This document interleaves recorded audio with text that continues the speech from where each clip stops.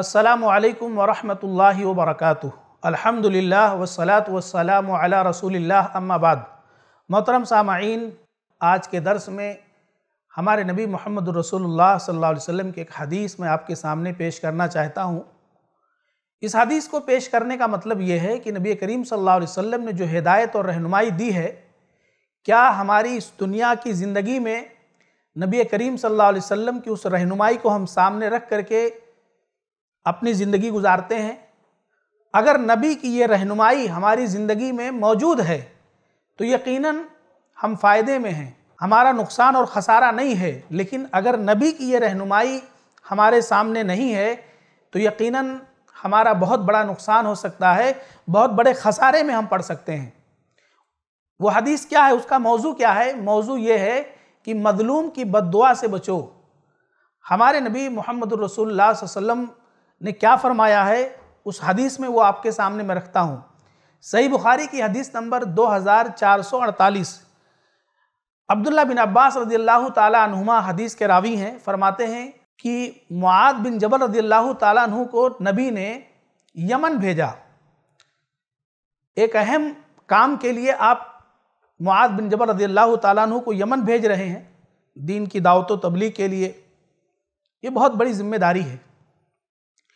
तो आप सल्लल्लाहु अलैहि वसल्लम अपने सहाबा को हर मौके से नसीहत किया करते थे, हर मौके से रहनुमाई फरमाया करते थे, ताकि सहाब कराम रदी अल्लाह से कोई गलती, कोई कोताही न हो।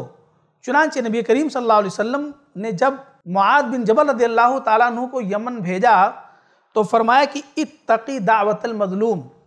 कहा कि, ए मुआद, तुम मजलूम की दुआ से बचना, यानी मजलूम की बद से बचना, यानी मजलूम जिस पर जुल्म किया जाए, उसके हवाले से बहुत ही ज़्यादा तुम खबरदार रहना। आगे क्या फरमाया? क्यों?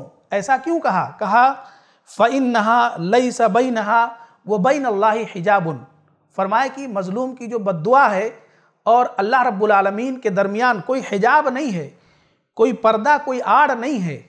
यानी अल्लाह रब्बुल आलमीन मज़लूम की बदुआ को बहुत जल्दी कबूल फरमाता है। बहुत जल्दी अल्लाह रब्बुल की अदालत में उसकी सुनवाई होती है। उसके मामले को अल्लाह रब्बुल बड़ी जल्दी से हल फरमाता है। लिहाजा हमें और आपको इस हदीस पर गौर करना चाहिए। मेरे भाइयों और दोस्तों, मजलूम की बदुआ अल्हम्दुलिल्लाह हम और आप मुसलमान हैं। अल्लाह रब्बुल पर हमारा ईमान है। नबी करीम सल्लल्लाहु अलैहि वसल्लम हमारे नबी और रसूल हैं। हम नमाज़ पढ़ते हैं फ़र्ज़ नमाज़ें भी पढ़ते हैं, नफली नमाज़ों का भी अहतमाम करते हैं। अल्हम्दुलिल्लाह हम फ़र्ज़ रोज़े भी रखते हैं और नफली रोज़ों का भी अहतमाम करते हैं। इसी तरीके से सदक़ो खैरात और दूसरी नेकियाँ भी अपनी ज़िंदगी में हम करने की कोशिश करते हैं। यकीनन एक मोमिन की कोशिश रहनी चाहिए। लेकिन मेरे भाइयों, अगर हम किसी पर माली ज़्यादती करते हैं, यानी माल के ज़रिए किसी पर जुल्म करते हैं, या तो हम किसी का माल ले लेते हैं या तो किसी को माल नहीं देते हैं या ज़ुबानी ज़्यादती किसी पर करते हैं, ज़ुबान के ज़रिए किसी पर जुल्म करते हैं, अपनी ज़ुबान से हम किसी को तकलीफ़ पहुंचाते हैं, या इसी तरीके से अपने ताकत के ज़रिए हम किसी पर जुल्म ज़्यादती करते हैं। अल्लाह ने ताकतवर बनाया है। किसी को आप अपने हाथ से मारते हैं, किसी को आप सताते हैं तो ये बड़ी ख़तरनाक चीज़ है। मेरे भाइयों और दोस्तों, हमें और आपको अपनी दुनिया की ज़िंदगी में इस पर गौर करना चाहिए। आप जिस पर जुल्म कर रहे हैं ना अगर वो फासिक फाजिर हो, बेनमाजी हो हती कि और मुहदसिन ने लिखा है शारहीन ने, कि अगर वो मुसलमान भी नहीं है, तब भी अगर आप किसी पर जुल्म कर रहे हैं और आपके ज़रिए किसी पर जुल्म हो रहा है, सामने वाला आपकी ज़ात से मजलूम है और वो आपके बारे में अल्लाह रब्बुल के यहाँ कोई फरियाद करता है बदुआ करता है, आपके बारे में अल्लाह से ऐसी दुआ करता है जिसमें आपके नुकसान की बात है, आपके खसारे की बात है।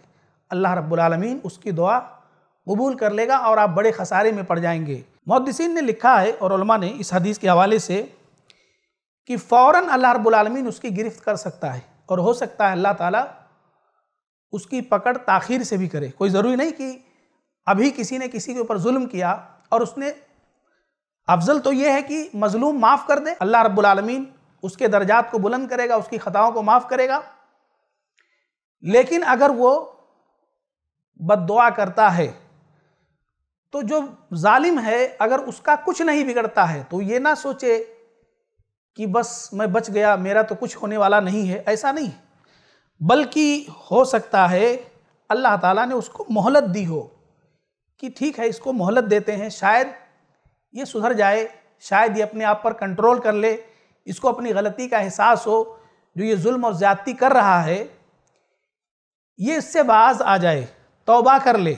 लेकिन अगर वो मुसलसल अपने आप को इस पर बाकी रखता है और वो अल्लाह की मोहलत को अपनी ताकत समझता है तो यकीनन अल्लाह रब्बुल आलमीन उसकी गिरफ्त करेगा। मेरे भाई और दोस्तों, मज़लूम की बदुआ आग के अंगारे की तरह है, आग की शोला की तरह है।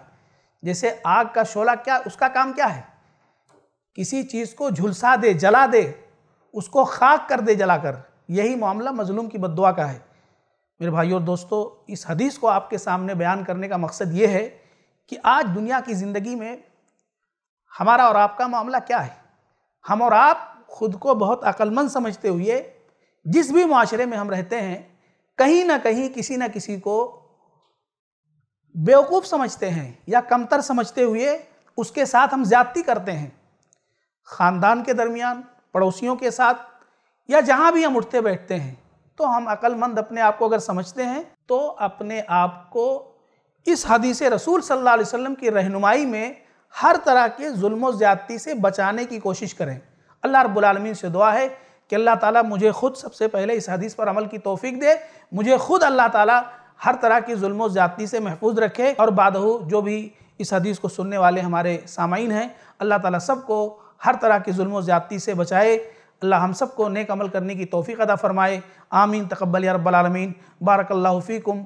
वसलम वरहमल वर्का ऐसे ही फ़ायदेमंद इस्लामिक वीडियोस देखने और मनहज सलफ़ पर किताब व सुन्नत की तालीमत को आम करने में हमारा ताउन करें, ताकि आपके लिए ज़रिया नजात, जन्नत के हसूल का सबब, साथ ही माल में बरकत व इजाफे का ज़रिया भी बने।